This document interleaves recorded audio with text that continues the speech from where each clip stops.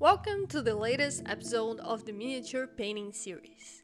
In the upcoming tutorials, we'll be painting figures from the Iron Keep expansion of the Dark Souls board game. On today's video, we will cover the steps to paint Sir Alonne. Cerulon came to this land from the east, chose to serve as a little known and established lord, and helped him become the old Iron King. And oh boy, do you know when you have an optional boss that you leave it to fight at the end game because you know it's gonna be a pink to beat?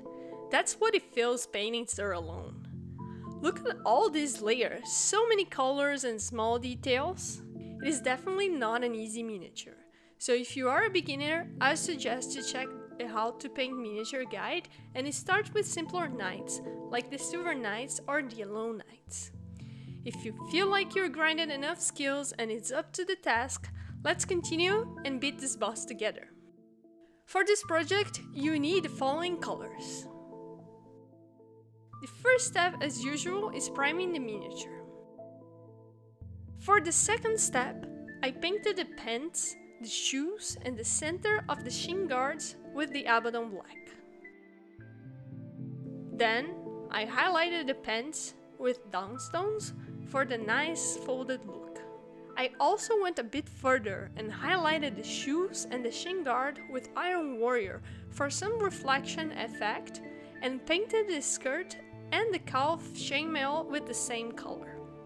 That weird cloth around the shoe that doesn't exist in the model of the game, I painted with Mechanicus Standard Grey to give it a different shade of grey. Also, don't mind the mess around the base, that was me trying to figure out which was the best gold to paint the armor, this will be covered with black later on. I used a very fine brush to make the cord around the shoe cloth with Abaddon black. Retributor Gold was the winner of my tests, and I covered the shin guard and the first part of the tithe protection with it. The straps of the shin guard I painted with Rhinox hide. Now that things are dry, the armor of Sir Alonne is starting to get recognizable with Abaddon Black. You can also paint the sleeves and the neck fabric with black. Once again, we use a fine brush to cover the details of the armor with Retributor Gold. I dry brush Sigmarite on the scales of the armor and a bit on the tithe protections to highlight the armor details. I also dry brush a bit of the Iron Warrior on the chest plate to give a refractive look like the center of the shin guards. I mixed Mechanicus Standard Grey and Abaddon Black to get a darker grey and paint the fabric that is over the chainmail, the tip of the gloves, and the hair. For the skirt fabric, I mixed Catacomb Flesh and Kislev Flesh for a beige tone. We're halfway through, so if you're enjoying this tutorial, don't forget to like and subscribe to the channel. For the next step, I dry brush Longbeard Grey on the dark grey skirt fabric to highlight the folds of the cloth. The metal belt is very shiny in-game, so I painted with Iron Breaker.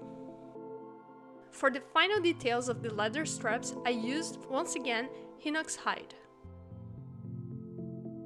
Since I had a bit of Rhinox hide still on my palette, I mixed Mephiston Red to give a somber look and paint the cloth around the metal belt and on the elbow.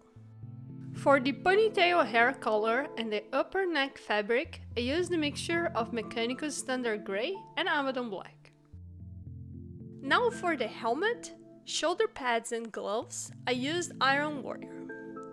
I also used Abaddon Black to paint one missing strap that I forgot on the chest. With the metal dried, I used Ushabti bone to make the ropes around the arms. Possibly Zandri dust is a good pick too.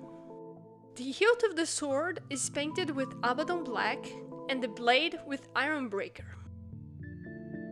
I added a few highlights with Longbeard Grey on the hair and red fabric for added details.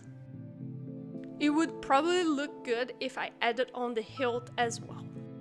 And I finished the ponytail cloth with the red mix.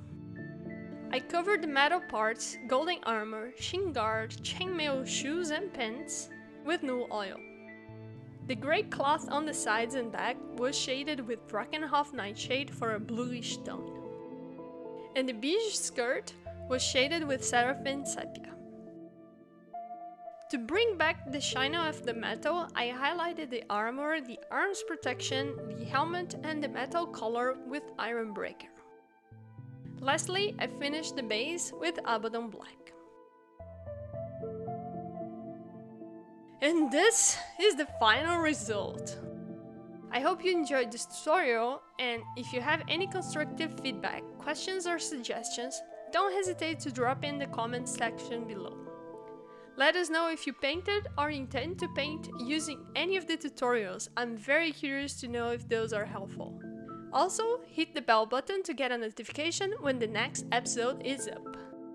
See you next time!